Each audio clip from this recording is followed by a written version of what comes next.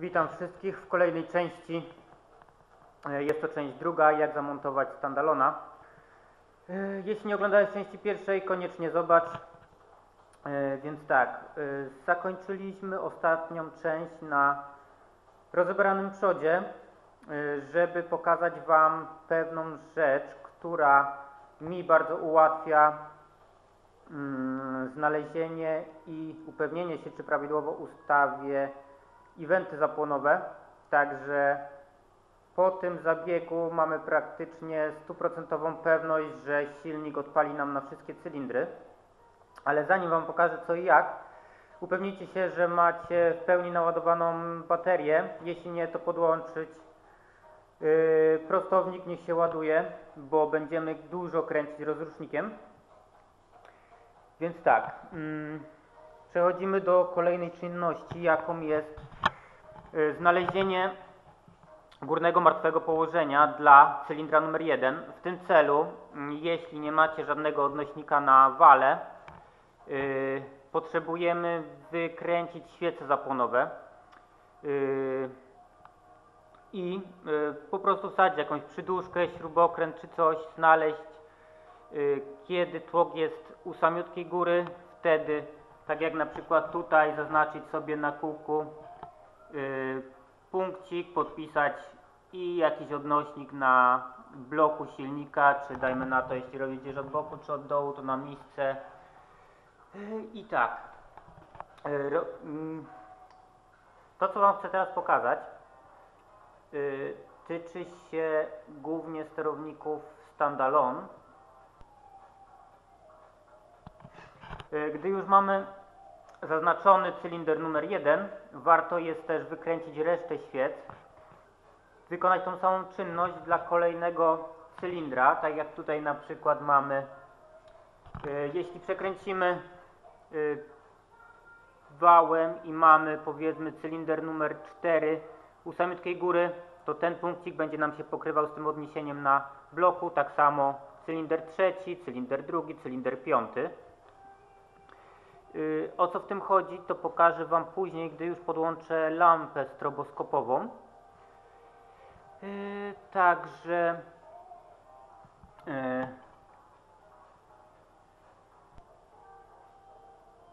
gdy już mamy podpiętą lampę stroboskopową pod cylinder numer 1, warto też odłączyć wtryskiwacze. Zasilanie wtryskiwaczów, w moim przypadku będzie to tutaj jedna główna wtyczka. Jeśli nie macie czegoś takiego, to odpinamy bezpośrednio wtyczki z wtryskiwaczy.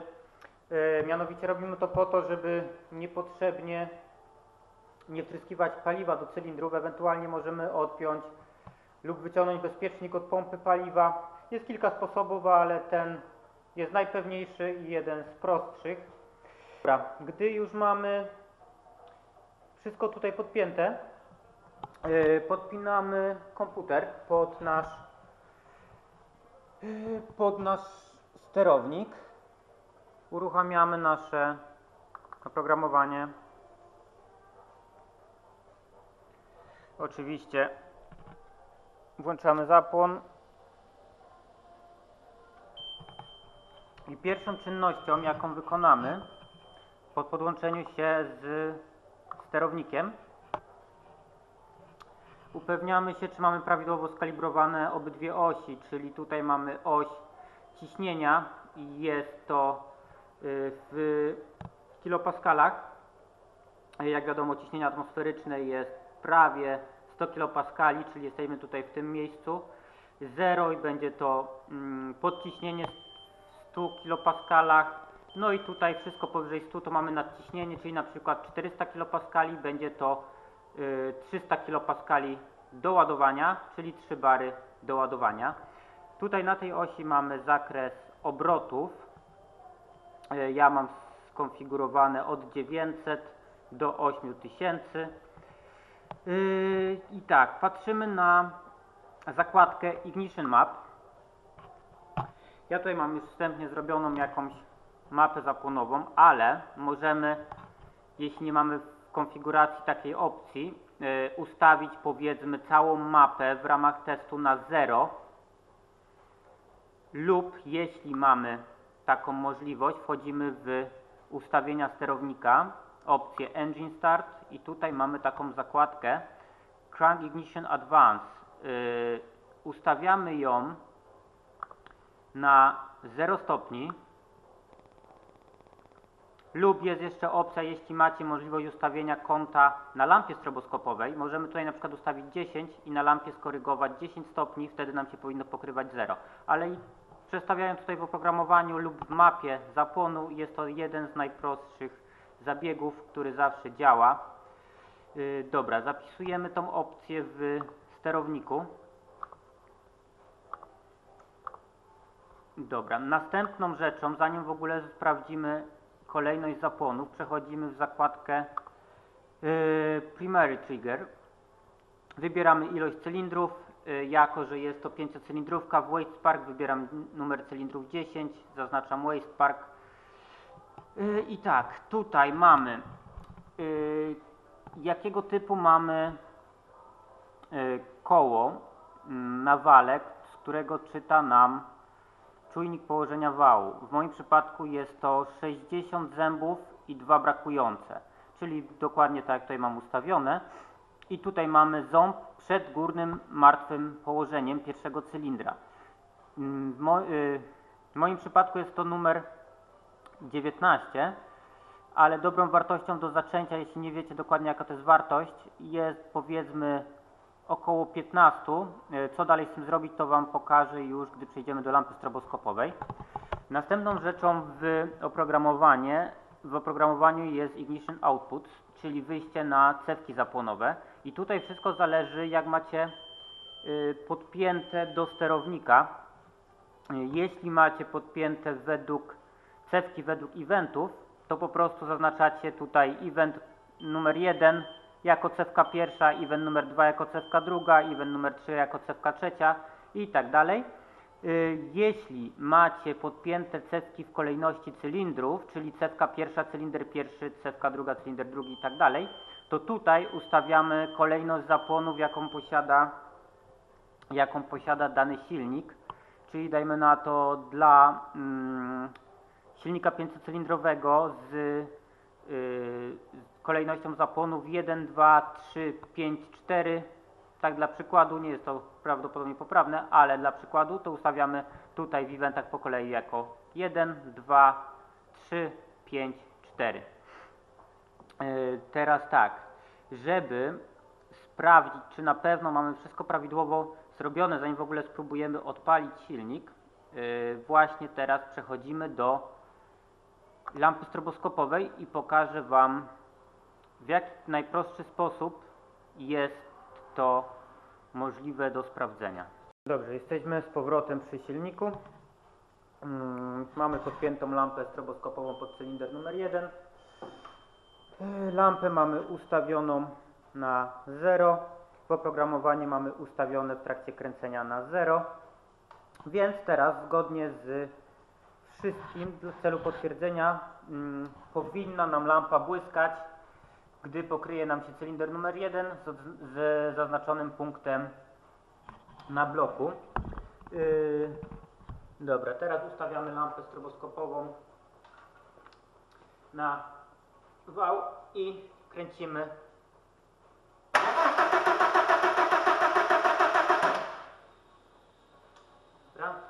Mam nadzieję, że było to widoczne.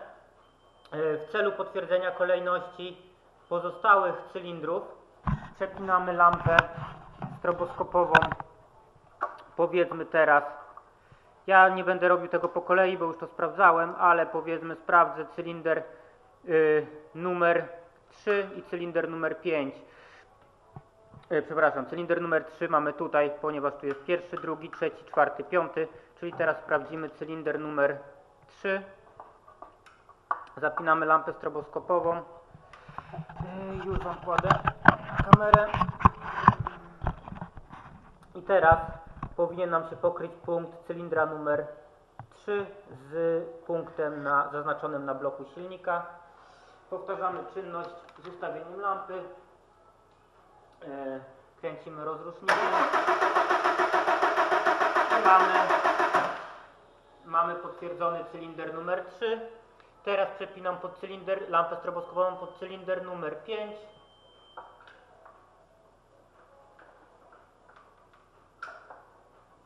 Dobra, lampa podpięta, powtarzamy czynność, powinno nam się pokryć yy, odnośnik cylindra 5 z odnośnikiem, który mamy zaznaczony na bloku silnika.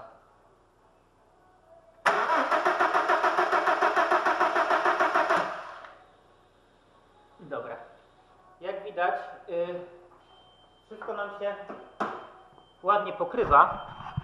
Yy, W razie problemów, gdy, tam, gdy Wam się któryś cylinder nie pokrywa, powiedzmy, jesteście podpięci lampą stroboskopową pod cylinder numer 5, ale błyska Wam w momencie, kiedy yy, pokrywa Wam się na przykład cylinder numer 3 z odnośnikiem na bloku, mm, jedną z najprostszych czynności jest yy, zamienienie kabli zapłonowych bezpośrednio na świecach i sprawdzeniu jeszcze raz yy, lub drugą możliwością jest przepięcie, y, jak mamy podpięte cewki przy sterowniku silnika.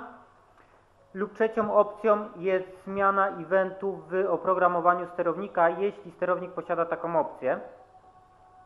Ja najczęściej mm, przemieniam sobie po prostu, jeśli jest taka możliwość, kable zapłonowe, ponieważ jest to najprostsza, najszybsza i najskuteczniejsza czynność. Y, Mam nadzieję, że Mm, to, co tutaj nagrywam, y, próbę lampą stroboskopową, widać to na kamerze, jesteście w stanie widzieć czytelnie, jaki numerek jest aktualnie w którym miejscu. Mm, Jeśli nie, to w warunkach rzeczywistych ludzkie oko bez problemu widzi. To kamera może tego nie, nie wychwycić, no ale zobaczymy.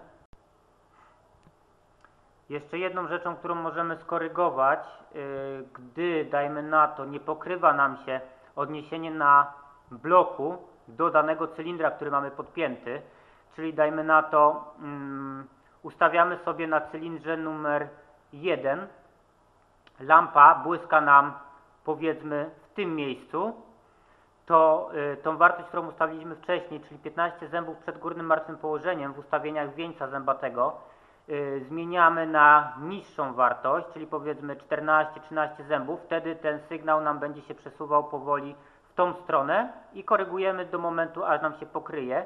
Jeśli mamy powiedzmy cylinder na numer 1 y, w tym miejscu sygnał, także tamtą wartość y, zwiększamy, na przykład 16-17 y, zębów przed górnym martwym położeniem, w moim przypadku jest to numer 19, wtedy nam będzie się przesuwało w tą stronę i ustawiamy do momentu, aż nam się pokryje. Dobra, gdy już mamy wszystko sprawdzone, mm, możemy podpiąć wtryskiwacze z powrotem. W moim przypadku jest to, jak to pokazywałem wcześniej, jedna główna wtyczka. Jeśli nie, to podpinamy bezpośrednio wtryskiwacze z powrotem. Yy, powracamy do laptopa i konfigurujemy mm, ustawienie zapłonu, czyli przechodzimy w, tak jak wcześniej robiliśmy Ignition Map i wgrywamy jakąkolwiek powiedzmy mapę, może być to ściągnięta z internetu lub po prostu wpisana wartość około 10-15 stopni po całej długości, y, jako że jest to tylko w ramach odpalenia i uruchomienia silnika. Y, Przechodzimy z powrotem w konfigurację Engine Start i zmieniamy y, crank Ignition Advance na około 10 stopni. Jest to 10 stopni jest to taki wyprzedzenie zapłonu, na którym większość silników powinno bez problemów odpalić. Także zrobimy tutaj też i tak. Yy, zapisujemy to do sterownika. Mm, resetujemy zapłonem sterownik, żeby przyjął nowe wartości. Uruchamiamy i teraz, jeśli wszystko wykonaliśmy poprawnie, upewniamy się, że nie mamy nic pod maską, co by mogło nam spaść, ewentualnie się gdzieś zaplątać w pasek czy cokolwiek. i możemy próbować uruchomić silnik. Może nie odpali albo nie uruchomi od razu bardzo dobrze, ale powinien minimum Wam dać jakieś oznaki życia. Więc tutaj na przykładzie tego silnika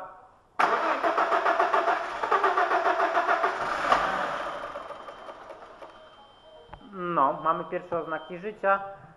Mm, podejrzewam, że jako, że tutaj mam jakąś tam mapę paliwa i jakąś tam mapę zapłonu wstępnie zrobioną, yy, po dodaniu gazu powinien nam jakoś wkręcić się na obroty. Nieperfekcyjnie, ale coś powinno Wam to pokazać.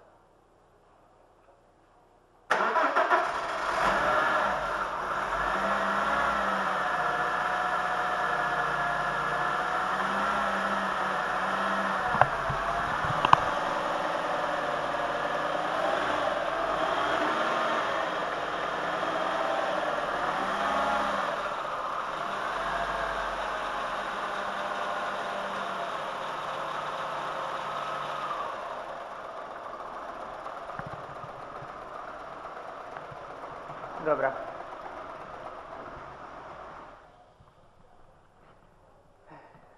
Jak widać silnik chodzi, zapłony się zgadzają. Gdy już jesteśmy na takim etapie, możemy przejść do następnego punktu, czym jest podpięcie kolejnych czujników, tych, których będziemy używać. W moim przypadku będzie to czujnik temperatury y, cieczy czy tak zwany czujnik temperatury silnika, czujnik temperatury powietrza zasysanego lub w kolektorze ssącym. W moim przypadku będzie to czujnik temperatury powietrza w kolektorze ssącym. Można też podłączyć, albo nawet wypadałoby podłączyć czujnik położenia przepustnicy. Yy, W moim przypadku prawdopodobnie nie będę tego jeszcze podpinał, jako że nie będzie ta przepustnica zastosowana. Jeśli posiadacie czujniki spalania stukowego i wasz sterownik y, obsługuje taką możliwość, to tak samo je podpinamy. Mm. I chyba tyle. Ewentualnie jeśli macie widebanda, y, sondę, ta, możecie to tak samo podpiąć pod sterownik, co bardzo ułatwi późniejsze strojenie, zarówno jak i termopara do temperatury spalin. To by było chyba na tyle mm, z tego wszystkiego. Gdy już mamy y, zapisane, bo warto to zapisać, co konkretnie chcemy, przechodzimy do schematu. Na schemacie musimy zlokalizować rzeczy, które potrzebujemy. No więc gdy już mamy zapisane, co chcemy mieć podłączone do sterownika, a minimum to jest najczęściej temperatura wody, temperatura powietrza, położenie przepustnicy. Jeśli mamy stukowe czujniki, też warto je podłączyć. Yy, znajdujemy wszystkie piny, tak jak to robiliśmy w poprzednim odcinku, podłączając pierwsze rzeczy. Wchodzimy sobie na schemat, lokalizujemy co chcemy, czyli w tym przypadku jako pierwszy czujnik temperatury wody. Sprawdzamy do którego idzie pina na oryginalnej wtyczce, jest to pin 53. Jeśli pokrywają nam się kolory kabelków na schemacie z tymi, które są rzeczywiście, też warto zapisać. Yy, tak jak ja sobie tutaj zrobiłem, że mam brązowo-szary kabeleczek mm, idący do, do pinu 53 na oryginalnej wtyczce. Yy, Później pod pin, mm, rozpisujemy sobie temperaturę powietrza, która jest tutaj na schemacie zaraz obok. Robimy dokładnie to samo. Później położenie przepustnicy. Mamy tutaj na schemacie jako cały moduł, bo tak jest w rzeczywistości na przepustnicy. Yy, łatwo go znaleźć, jako że jest tutaj potencjometr, nawet mamy tak samo podpisane. Yy, zapisujemy sobie pin, który wychodzi do sterownika, w tym przypadku 75.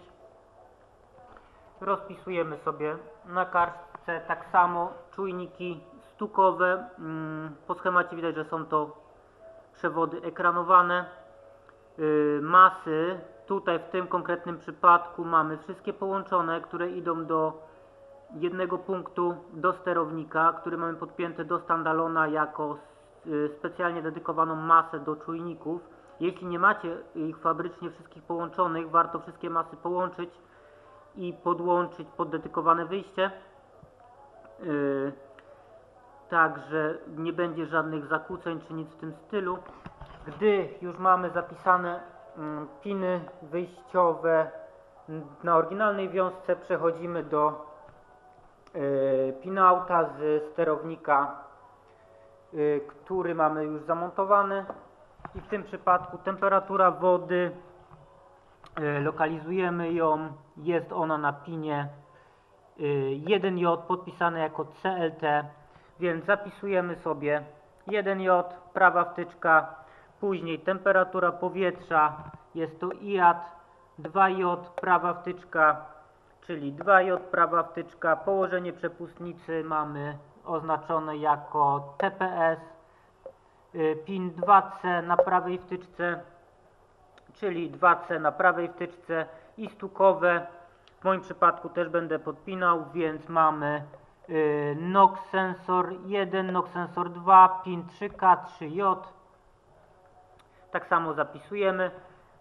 Gdy już mamy to wszystko tak podłączone, możemy, jeśli znamy wartości, skorygować i skonfigurować odczyty z poszczególnych czujników. Jeśli nie, możemy to zostawić osobie, która będzie nam stroiła samochód. Mm, Myślę, że tak wstępnie odpalony samochód i przygotowany z podpiętym sterownikiem y, bez problemu będzie w bardzo prosty sposób wystrojone przez osobę, która to będzie robiła. W moim przypadku będę to robił sam, ale w Waszym przypadku może być inaczej. Może być to osoba na hamowni lub osoba, która stroi samochody na drodze.